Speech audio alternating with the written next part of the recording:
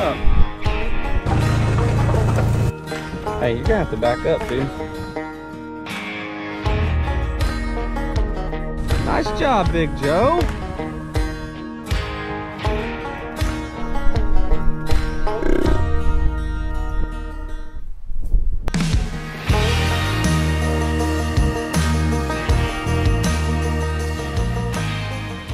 Hey guys, Dusty Baker, Cross Timbers Bison. Welcome back to our channel. It's the Big Joe Herd. We are at the Ponderosa. I'm actually in the yearlings pasture. You guys probably wondering, what in the heck is this white stuff in your uh, pasture? Well, doing a little fly prevention today, putting out some diatomaceous earth.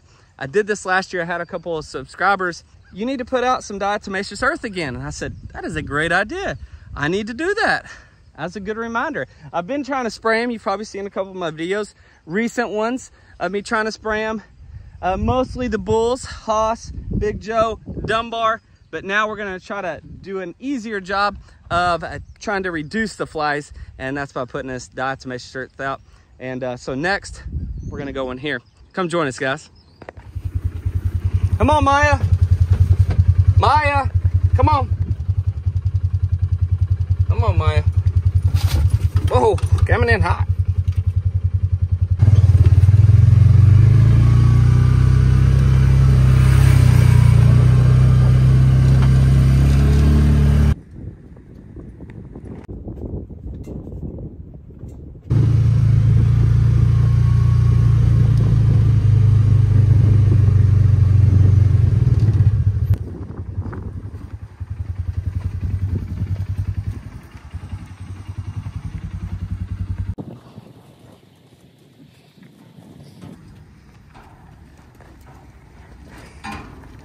So all these gals came up here. They thought the bunk feeder was out of feed and I went in and scooped some of it out that they couldn't reach and they're all excited because there's there's some feed left. So they're all sneaking up here trying to get some feed. Here comes old Haas looking good. Yeah, they're all worked up right now. So, but uh, I, I got to go out here and really, I know that there's a patch right up here where they like to roll, but I've got to go figure out some of these places, beat down pass um, to, to really figure this out. Here's one thing I'm excited about. Look at all the uh, brown-headed cowbirds that are back following the bison. Um, they, they all just sort of showed up here in the past couple of days and that's pretty cool. Um, there's old Haas. Once we find some of the places that they do roll, I'll uh, put out some of this diatomaceous earth.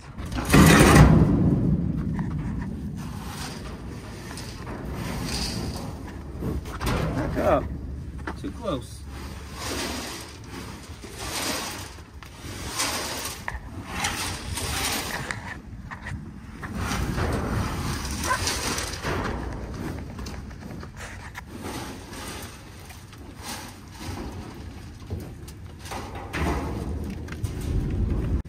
It's one thing I really enjoy about this Oklahoma Pride feeder is these easy, uh, you can adjust just by a little pin. You can slide up, you can see all the holes here. You wanna adjust your height and see how much feed you want to let out. Kind of control it that way. So that's nice that they put all these holes in there. So this just slides up and down it and you can have as close as you want or high as you want. But right now I've got them open. You can see the bison on the other side. But what happens is feed gets left here in the middle that they can't reach. You can see it all the way down there.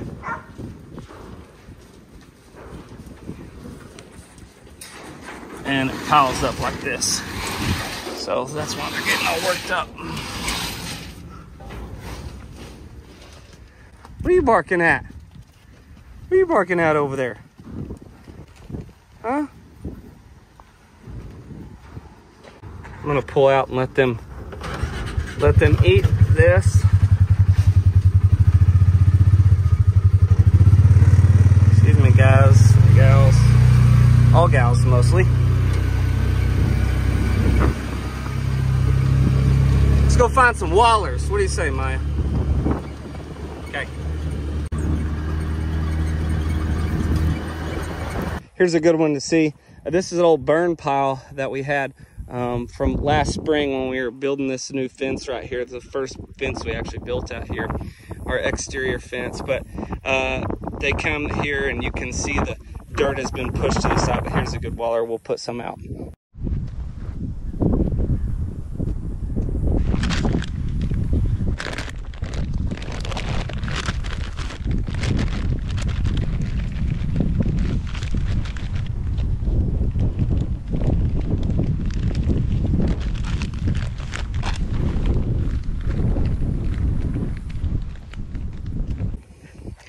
I know they like to lay up here quite a bit in this corner and came over here and look who we have. Got some guests that came up.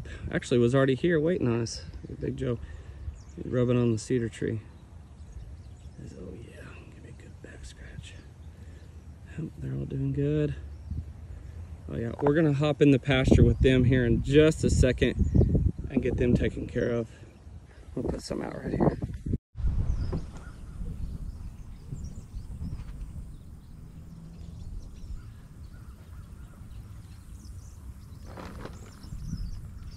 Look at the big guy.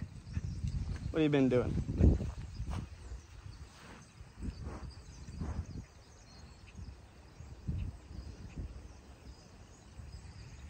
I got something good for you, Big Joe. Try to slow those flies down. But the good thing is, I don't know if you guys can hear it or not, but the brown-headed cowbirds are back in, in full force, which is really good because they also help on the fly prevention.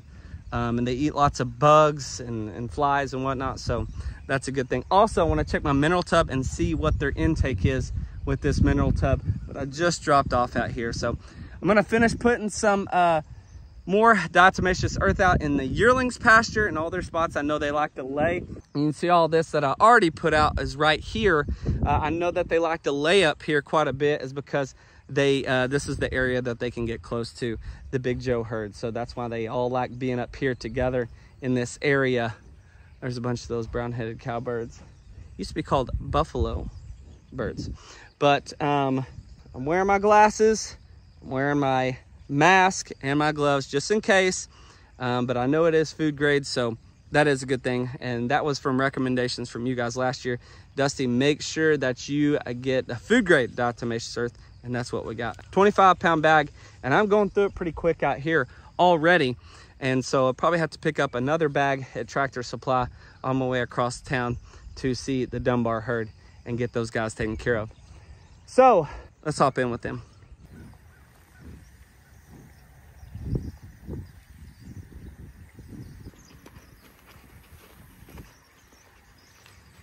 Thanks for waiting.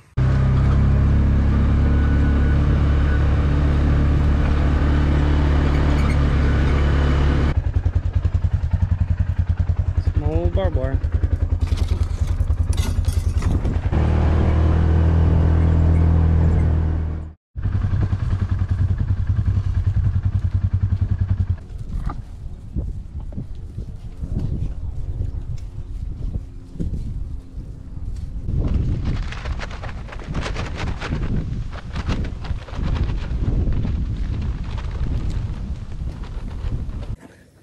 I know that they like these places like this because anywhere there's loose dirt, um, that's where they like to really dust off. You can see these places like that. Could probably put some right there.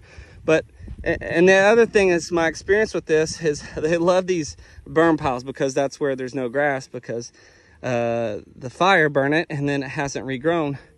So you've got this loose dirt here and that's where they like it the most. So I just kind of spread out here where I saw a lot of their depressions. But the other thing is too, and I wish they were over here, uh, the cool part about it is for some reason they like the smell of this or they like the diatomaceous earth. So if they were here right now, they'd have come over and they would have wallered in it.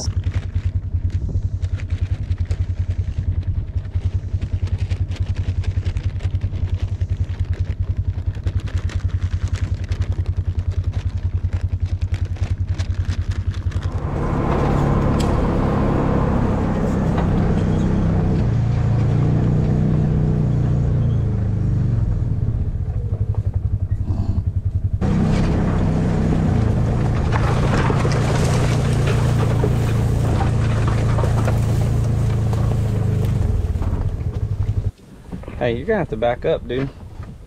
You too close. Big fella.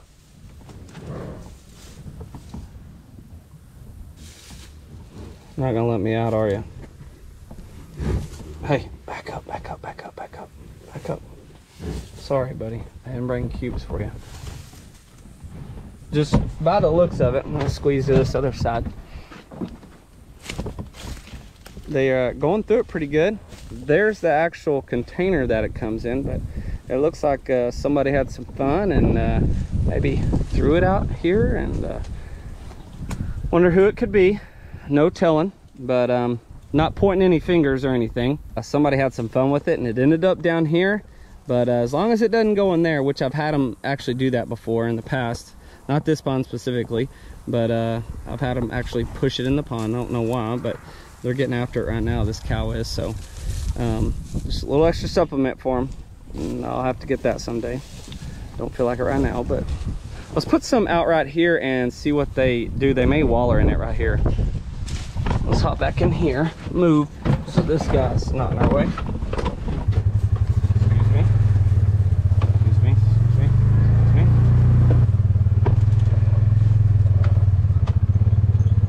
not trying to play i'm just trying to get you out of the way that's all i'm doing all right thank you now put some of this stuff out.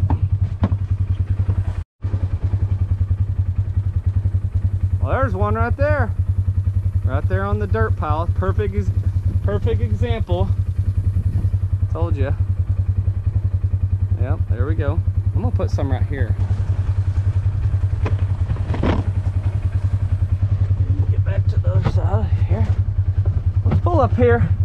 Put some on that. Four wheel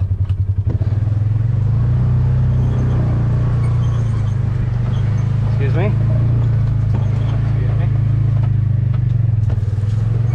little heifer.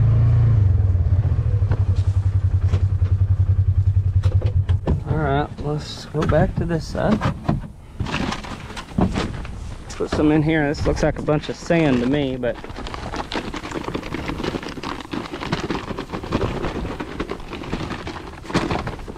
I'm out.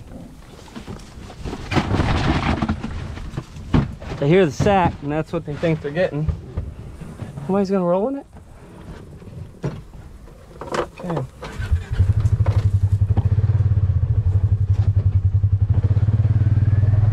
Big Joe may.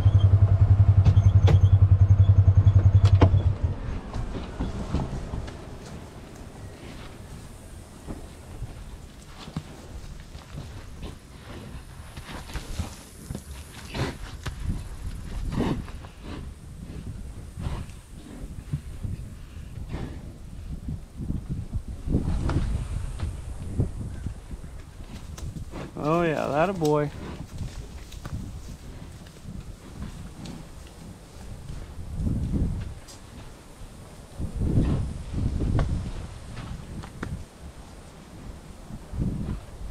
There you go. Good job. Nice job, Big Joe. That's exactly what I was wanting. Now looks like it's all gone. Nice work.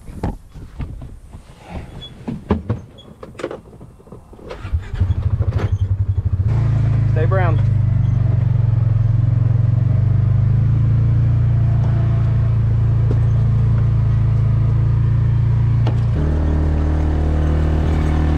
Come on, let's go.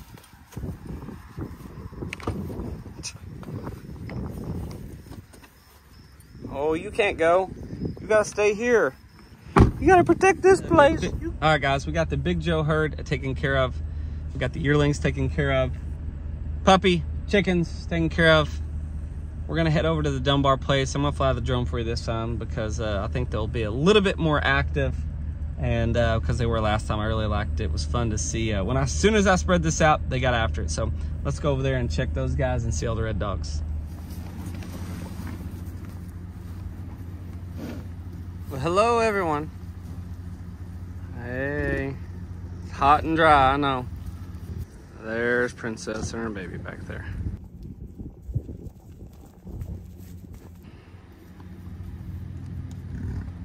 All right, guys, we are at the Dunbar place. checking out the herd.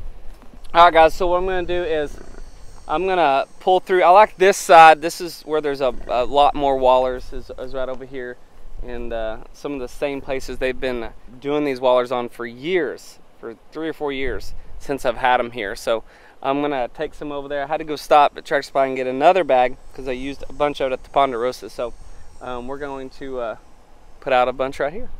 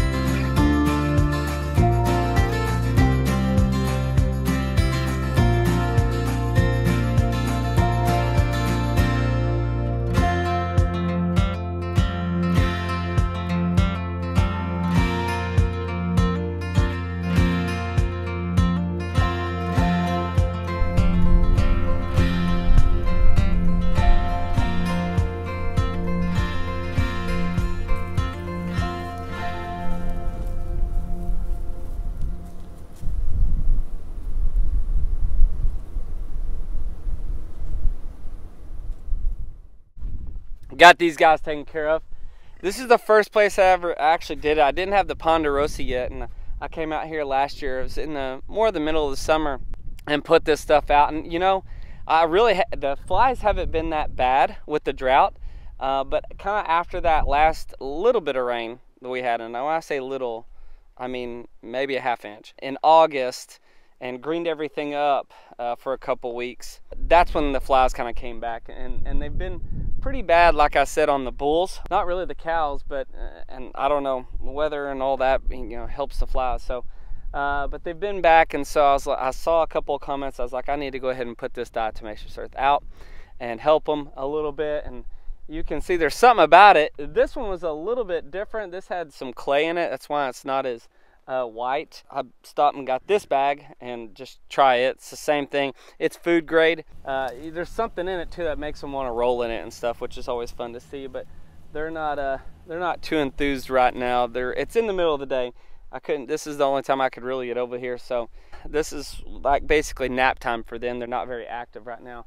Came out to see me and heard the bag rattling around, and so it makes them think of cubes. But uh, they did go through this uh, lick, as you could tell here, there was a cow um, on the lick. Oh, looky here. I need to bring some cubes out for our special girl. I should have had some with me, but problem is, is when you start to feed her, the other ones start to show up as well. So that's just how it goes it's around Eleanor. They're gonna go over there and get on that um, lick on that tub, but they did the same thing. They knocked it out of it. Take one guess, probably who did that. Our boy, Dunbar. It's one of those things. Uh, they can all come to that lick and but they got after it. I mean, it hadn't been out there very long. Pick this up. Uh,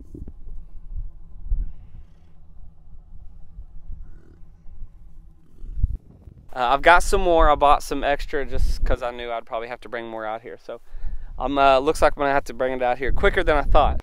Also, guys, don't forget we are dropping our uh, kind of our fall or beginning of October launch for some new hats. I uh, got a lot of new cool hats that we came up with.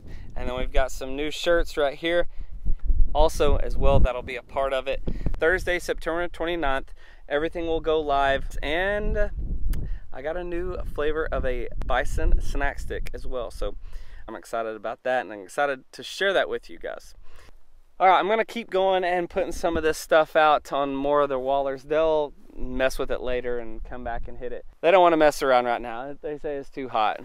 All right, guys, we're gonna move on.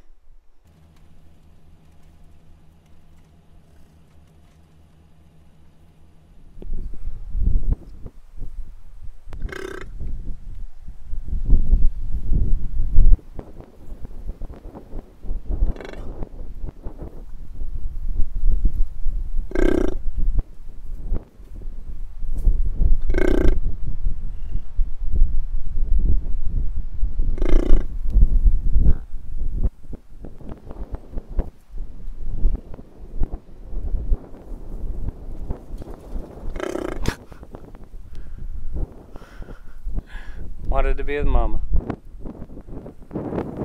That's how easy it is for a calf to get through the fence. hey, thank you guys for watching us today. Thank you for following us along on this journey and being a part of all this. Goods and the bats. Thank you guys. We'll see you soon.